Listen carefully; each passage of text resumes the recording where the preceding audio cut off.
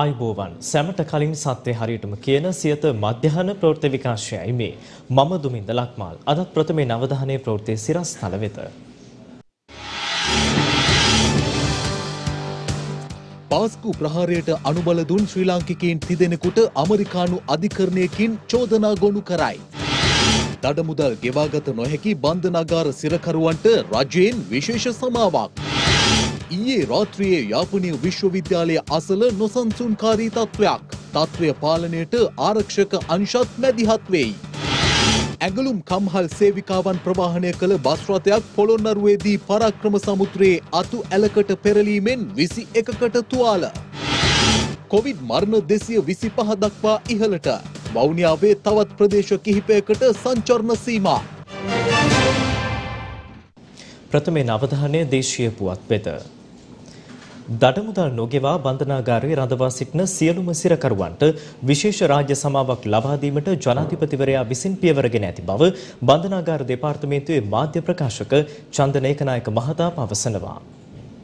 Quick දහනමය වසංගතය පැතිරීම කරුණු මත ශේෂ රාජ්‍ය සමාවක් ජනාධිපතිතුමා විසින් පිරිනමා තිබෙනවා. ඒ අනුව එම රාජ්‍ය සමාවට සියලුම දඩ මුදල් නොගෙවා බන්ධනාගාරයේ සිටින සියලුම සිරකරුවන් නිදහස හම්බ වෙනවා. ඒ අනුව ඔවුන් අද දිනේම මුදා හැරීමට අවශ්‍ය කටයුතු කරනවා. සියලුම දඩ මුදල් නොගෙවීම මත සිරගත වී සිටින සියලුම දෙනා නිදහස් කරනවා. බන්ධනාගාරයෙන් නිදහස් කරන රැඳවියන් PCR පරීක්ෂණයකට ලක් කර ආසාදිත නොවන බව සොයාගෙන තිබෙනවා නම් නිදහස් කරන බව එම ප්‍රදේශයේ බාර මහජන සෞඛ්‍ය පරීක්ෂකටත් ඒ වගේම ඒ ප්‍රදේශයේ බාර පොලිස් ස්ථානාධිපතිතුමාටත් අපි දැනුම් දෙනවා. ඔහු ආසාදිතයෙක් නම් අප විසින්ම ඔහුව ප්‍රතිකාර මධ්‍යස්ථානයට යොමු කරලා නැවතත් PCR එකක් කරලා තමයි ඔහුව සමාජයට මුදාහරින්නේ. නිදහස් වෙන අය ගැන බිය විය යුතු නැහැ කියන එකත් මට කියන්න ඕනේ.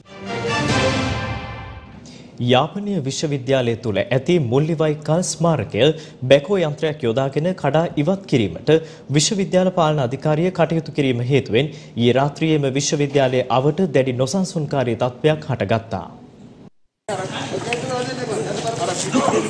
යාපනය විශ්වවිද්‍යාල සිසුන් විසින් යාපනය විශ්වවිද්‍යාලය තුළ ඉදිකළ මොල්ලි වයිකාල් සැමරුම් ස්මාරකය බැකෝ යන්ත්‍රයක් යොදා ගනිමින් ඉවත් කිරීමට කටයුතු කිරීම හේතුවෙන් ඊයේ රාත්‍රියේ යාපනය විශ්වවිද්‍යාලයේ ඉදිරිපිට දැඩි නොසන්සුන්කාරී තත්ත්වයක් හටගත්තා.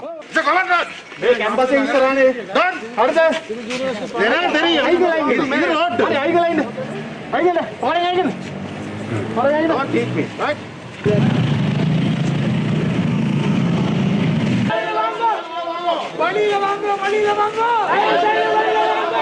විශ්වවිද්‍යාල සිසුන් ප්‍රදේශ වාසීන් සහ දේශපාලඥයින් මෙලෙස සිය විරෝධය පළ කරමින් නොසන්සුන්කාරී ලෙස හැසිරී තිබෙනවා.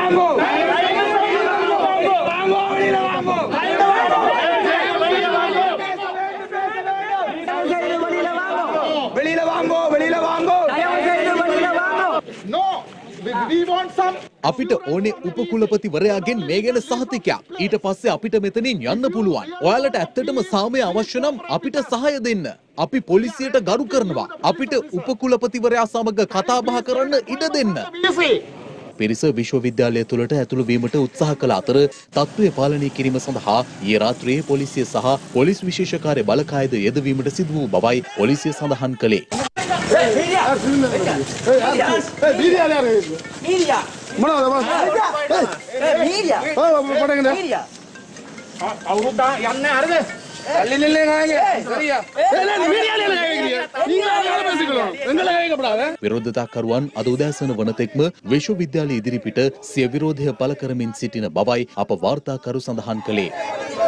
இடிக்காதே இடிக்காதே பதில் சொல் பதில் சொல் நாங்கள் எதிர்பார்க்க முடியாத ஒரு சம்பவம் අපි ඔක්කොමල හිතන්න ඇති දෙයක් තමයි ඊයේ උනේ. අපි ඔක්කොම එකතු වෙලා මේකට විසඳුමක් හොයන්න ඕන. මේම දෙයක් වෙනම කියලා අපි කවුරුත් දන්නේ அரசாங்கத்தினுடைய අවුරුදු තුනකට ඉහතදී අපේ සිසුන් තමයි මේ ස්මාරකය හැදුවේ.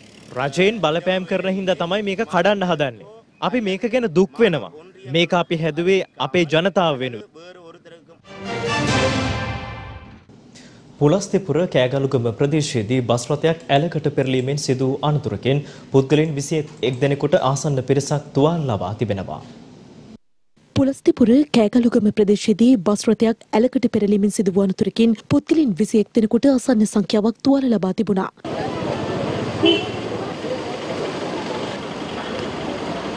අද උදැසන ඇඟලුම් කර්මාන්ත ශාලාවක සේවකින් පිරිසක් රැගත් බස් රථයක් පරාක්‍රම සමුද්‍රයට සම්බන්ධිත ඇලකට පෙරළී මෙම අනතුර සිදු වී තිබුණා. බස් රථය රියදුරට පාලනය කරගත නොහැකිව ලිස්සා යාමෙන් මෙලෙස ඇල මාර්ගයට පෙරළී ඇති බවයි පුලස්තිපුර පොලිසිය අප කළ විමසීමකදී ප්‍රකාශ කළේ. අනතුරෙන් තුවාල ලැබූ පිරිස පොළොන්නරුව සහ පුලස්තිපුර රෝහල් වෙත ඇතුළත් කර තිබෙනවා. අනතුර සම්බන්ධයෙන් පුලස්තිපුර පොලිසිය වැඩිදුර විමර්ශන සිදු කරනු ලබනවා. වවුනියාව දිස්ත්‍රික්කයෙන් COVID-19 ආසාදිතයින් වාර්තා වීමත් සමග වවුනියාවේ තවත් ප්‍රදේශ කිහිපයකට සංචරණ සීමා පැනවීමට සෞඛ්‍ය අංශ පියවරගෙන තිබෙනවා.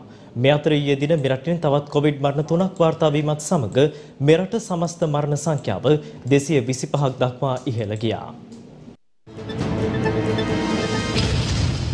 වවුනියාව නගරයෙන් කොවිඩ් ආසාදිත පුද්ගලයන් 55 දෙනෙකු අලුතෙන් හඳුනා ගැනීමත් සමග වවුනියාව ජුම්මා මුස්ලිම් පල්ලිය ඇතුළු නගරයේ ප්‍රධාන මාර්ග තුනක් වසා දැමීමට මහජන සෞඛ්‍ය පරීක්ෂකවරුන් පියවරගෙන තිබෙනවා. වවුනියාව බසාර් වීදිය ධර්මලිංග මාවත සහ මාකට් පෙදෙස එලෙස වසා දැමීමට මහජන සෞඛ්‍ය පරීක්ෂකවරුන් කටයුතු කළ බවයි අප වාර්තාකරුවන් සඳහන් කළේ. අදාළ මාර්ගවල පිහිටි වෙළඳ සැල් 26ක සේවය කළ පිරිසවලට කොවිඩ් වෛරසය ආසාදනය වී ඇති බවට තහවුරු වී ඇති අතර ආසාදිතයින් සේවය කළ වෙළඳ සැල් සහ ඔවුන්ගේ ආශ්‍රිතයින් සොයා පරීක්ෂණ පවත්වන බවද වවුනියාව මහජන සෞඛ්‍ය පරීක්ෂක කාර්යාලය සඳහන් කළා.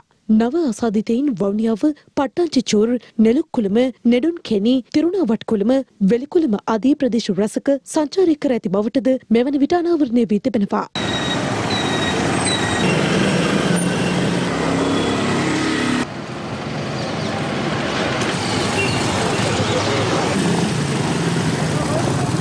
ඒ දිනෙදී මෙරටින් කොවිඩ් මරණ තුනක් පිළිබඳ තොරතුරු වාර්තා වුණා. මියගිය පුද්ගලයන් හොරණ රත්නපුර සහ කොළඹ 14 යන ප්‍රදේශවල පදිංචිකරුවන්. ඒත් සමග මෙරට සමස්ත කොවිඩ්-19 මරණ සංඛ්‍යාව 225ක් දක්වා ඉහළ ගියා. මාතලේ මහරෝහලේ සිදු කළ ෂණික ප්‍රතිදේහ පරීක්ෂණ වලින් පුද්ගලයන් පස් දෙනෙකු කොවිඩ්-19 ආසාදිතයින් ලෙස තහවුරු වී තිබෙනවා.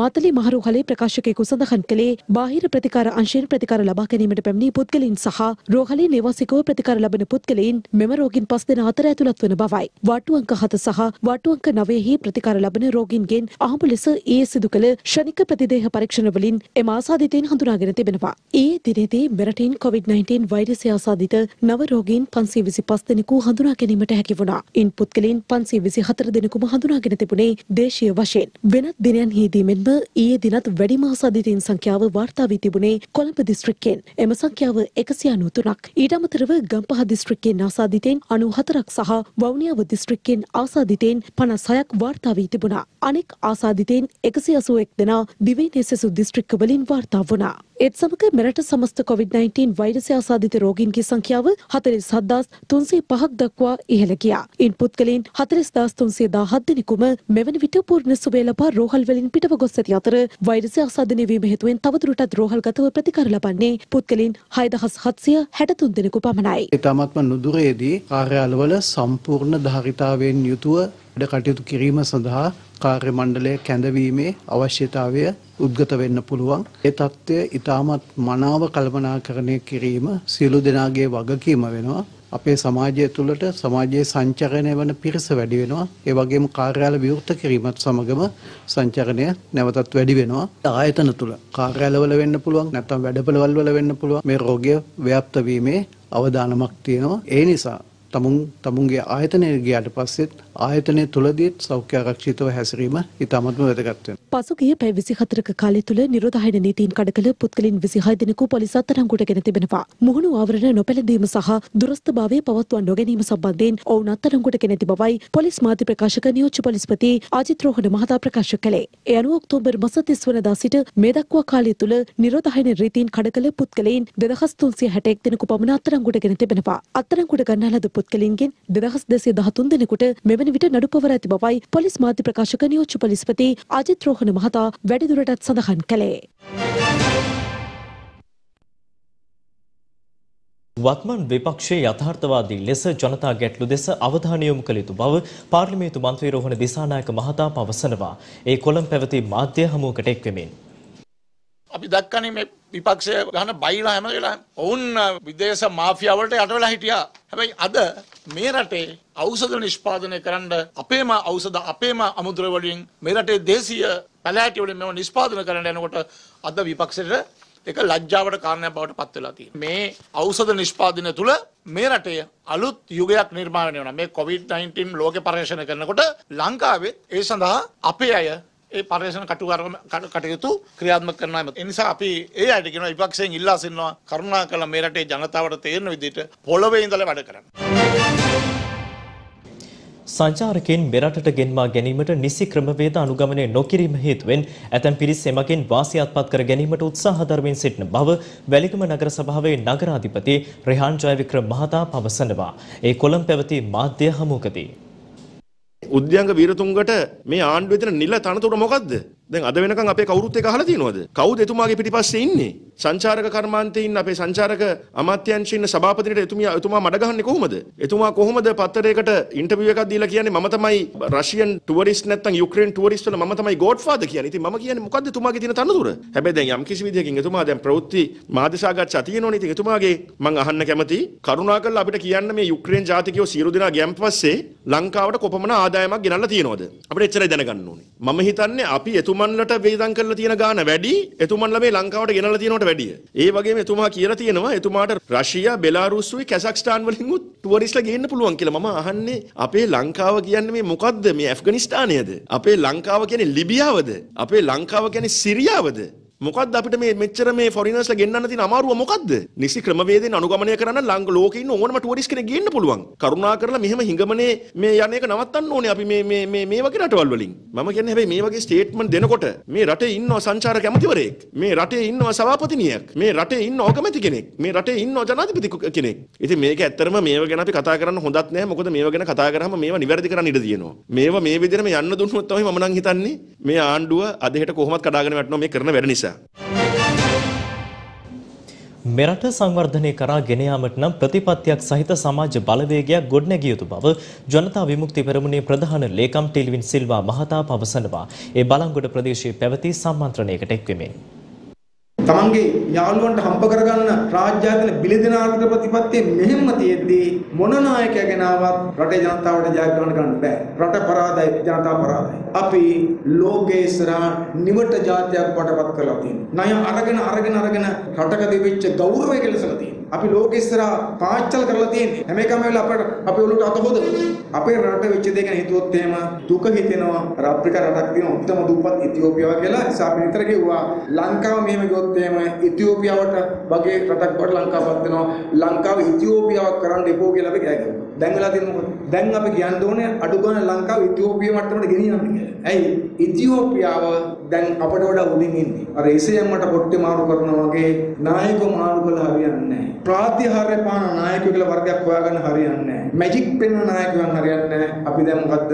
මෙරට හදන්න පුළුවන් සමාජ ආර්ථික වශයෙන් රට වෙනස් කරන්න පුළුවන් ප්‍රතිපත්ති තියෙන සමාජ බලවේගයක් ගොඩනගන්න ඕනේ. දැන් ගෝඨාභය රාජපක්ෂ මහත්තයාට රට හදන්න තියෙන බාධකේ මොකක්ද කියලා අපි කියන්නේ? විශ්ව සම්මතයේ ජනාධිපතිකම තියෙනවා. පාර්ලිමේන්තුවක් තියෙනවා. තුනෙන් දෙකේ පාර්ලිමේන්තුවක් තියෙනවා. දැන් තැමති මණ්ඩලයක් ඉන්නවා. මේ ඔක්කොම තියෙනවා. අපි කියන්නේ මොකද? දැන් ඉතින් වැඩ පෙන්වන්නකෝ. දැන් විසිල් ගහුව ඇතිනේ. බල්ටිත් එපයි නේද? තාම තියෙන විසිල් විතරයි බල්ටි නැහැ. දේශපාලන වේදිකාවේ පළ වූ අදහස් කිහිපයක් දැන්.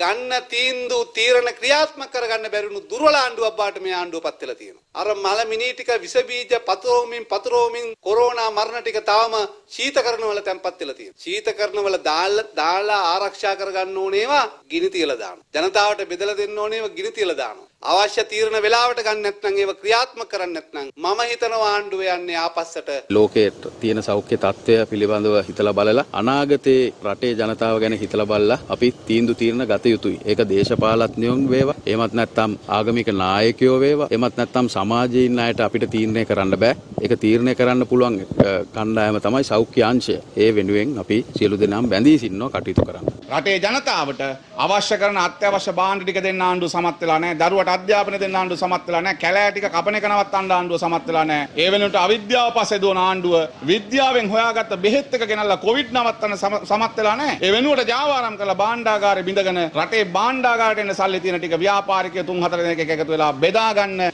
ආර්ථික ක්‍රියාවලියක් තමයි අද මේ ආණ්ඩුවත් ඉදිරියට ගෙන යමින් කරමින් තියෙන්නේ. දැන් මේ ආණ්ඩුවට තාම අවුරුද්දයි. මේ ආණ්ඩුව අවුරුද්දකට පස්සේ මේ ආණ්ඩුව ගැන ප්‍රශ්න කරන අයට අපිට කියන්න තියෙන්නේ මේ ආණ්ඩුව කරපු වැඩ බලන්න මේ අවුරුද්ද. මොනතරම් ප්‍රතිපත්ති මේ තීන්දුව ගොඩක් කරන් තියනවද? දශක ගණනවත් අපි කතා කරගෙන හිටපු දේවල්, කවුරුත් කරන්න නැතුව හිටපු දේවල්. අපි ඒ වගේ ප්‍රතිපත්ති මේ තීන්දුව රාශියක් ගනිමින් සිටිනවා. ක්‍රියාත්මක කරමින් තිබෙනවා. දෙදහස් දහනමේ අප්‍රේල් විසියෙක් වන දින එල්ල වූ පාස්කු ප්‍රහාරයට අනුබල දුන් ශ්‍රී ලාංකිකයින් තිදෙනෙකුට අමරිකානු අධිකරණය විසින් චෝදනා ගොනු කර තිබෙනවා. දෙදහස් දහනවය අප්‍රේල් විසියක පාස්කුදින පුද්ගලීන් දෙසි හැට අට දෙනෙකුට දිවි අහිමි කරමින් තව පුද්ගලීන් පන්සියකට අධික පිරිසකට තුවාල සිදු කරමින් මරාගෙන මැරෙන බෝම්බ ප්‍රහාර මාලාවක් සිදුපුණා. එම ත්‍රස්ත ප්‍රහාරයට සම්බන්ධ ශ්‍රී ලංකාවේ ISIS සංවිධානය නමින් හඳුන්වනු ලබන සංවිධානයක සාමාජිකින් තිදෙනෙකුට ලොස් ඇන්ජලිස්හි ෆෙඩරල් අධිකරණය විසින් චෝදනා ගොනු කර තිබෙනවා. මෙලෙස චෝදනා එල්ල වූ සැකකරුවන් ලෙස මොහොමඩ් නෞෆර්, මොහොමඩ් අන්වර්, මොහොමඩ් රිස්කාන්, අහමඩ් මිල්හාන්, හයාතු මොහොමඩ් යන අය ඇතුළත්. මොහොමඩ් නෞෆර් ශ්‍රී ලංකා ISIS ත්‍රස්ත සංවිධානයේ දෙවන එමීර්වරයා ලෙස හඳුන්වා දී ඇති අතර මොහු ත්‍රස්ත ක්‍රියා සඳහා පුහුණුවීම් බඳවා ගැනීම මතවාද පැතිරවීම සිදුකොට ඇති බව සඳහන්. මොහොමඩ් අන්වර් පාස්කු ඉරිදා ප්‍රහාරය සඳහා පුපුරණ ද්‍රව්‍ය සකස් කළ බවටද චෝදනා එල්ලවනවා. එමෙන්ම අහමඩ් මිල්හාන් පොලිස් නිලධාරීන්ට වෙඩි තැබීම, ඔවුන් සතු ගිනි අවි පැහැර ගැනීම, බුද්ධි තොරතුරු ලබා දෙන අයට වෙඩි තැබීම, ත්‍රස්ත ප්‍රහාරයට අවශ්‍ය ස්ථාන සොයාදීම ආදී කරුණු ඔහුට එල්ල වී ඇති චෝදනායි. මෙම බෝම්බ ප්‍රහාරය සම්බන්ධයෙන් මේ වන විට ලොස් ඇන්ජලිස්හි දිසා අධිකරණයේ නඩුවක් ගොනු කර තිබෙනවා.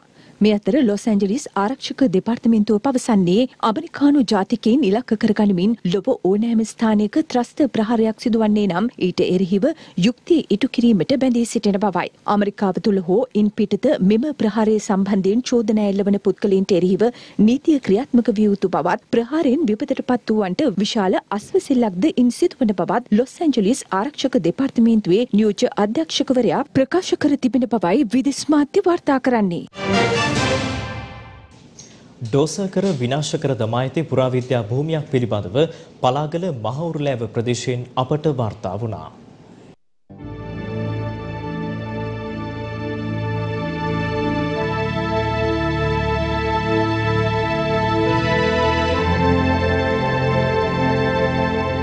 ඔබ දකින මේ බිම්කඩ සංවර්ධන කාර්යක් උදෙසා හෝ වෙනත් ව්‍යාපෘතියක් උදෙසා වෙන් කළ භූමිභාගයක් නොවේ. මේ පලාගල ප්‍රාදේශීය ලේකම් කොට්ටාසේ මහවුරුලෑව ප්‍රදේශයේ පිහිටි ඓතිහාසික පුරාවිද්‍යාත්මක ස්මාරක පිහිටි පුරාවිද්‍යා වටිනාකමක් සහිත භූමියක්.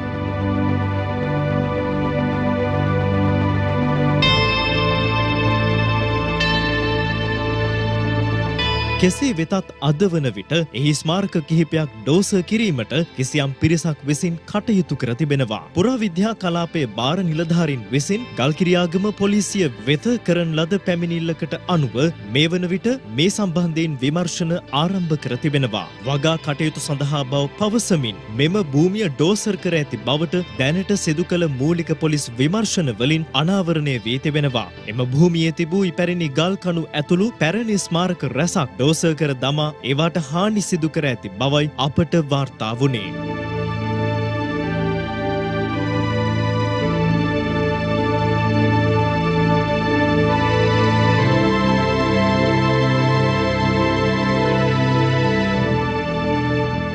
විනාශ කර දමා ඇති පුරාවිද්‍යා නටබුන් සහිත එම ඩෝස කළ භූමියට පලාගල ප්‍රාදේශීය ලේකම් කාර්යාලය මගින් එක්දහස් නමසය අනූතුනේදී වාර්ෂික බලපත්‍රයක්ද නිකුත් කර ඇති බව පොලිස් විමර්ශනවලදී අනාවරණය වී තිබෙනවා. ඩෝස කිරීම සිදුකර ඇති ප්‍රදේශය පුරාවිද්‍යා ස්මාරක සහිත භූමියක් බවට පුරාවිද්‍යා දෙපාර්තමේන්තුව මගින් ප්‍රකාශයට පත් කර තිබියදී මෙවැනි පුරාවිද්‍යා භූමියකට සිදුකර ඇති විනාශය කිසිසේත්ම අනුමත කළ නොහැකි. පුරාවිද්‍යා භූමිය ඩෝස කිරීමට යොදාගත් ඩෝසරය සහ එහි ක්‍රියාකරුද මේ වන විට ගල්කිරියාගම පොලිසිය විසින් අත්අඩංගුවට ගෙන තිබෙනවා. අභිමානවත් ජාතියක ප්‍රෞಢත්වය මතු පරපුරට අනාවරණය කරන්නා වූ මෙබඳු ජාතික සම්පත් විනාශමුකයට යා නොදී රැක ගැනීම මහජනතාව බලධාරීන් ඇතුළු සියලු පාර්ශවයන්ගේ වගකීම බව අප යළි යළිත් අවධාරණය කර සිටින්නෙමු.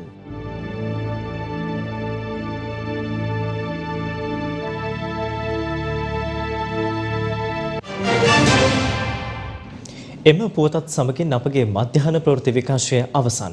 තවත් තොරතුරු සඳහා පිවිසෙන්න www.siyathanews.lk අපගේ වෙබ් අඩවිය වෙත. නැවත හමුවෙමු සවස 6ට අපගේ ප්‍රධාන ප්‍රවෘත්ති විකාශයත් සමගින්. සුබ දවසක්.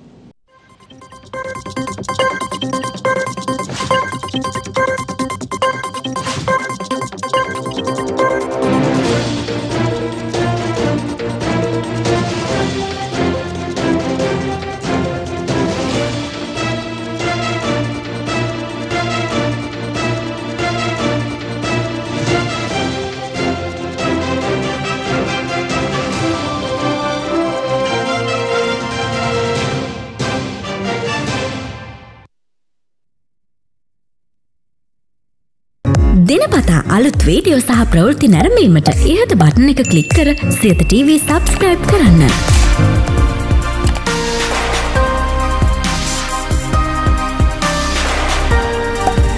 අලුත් වීඩියෝ ගැන මුලින්ම දැනගන්න මෙම සීනුව ක්ලික් කරන්න.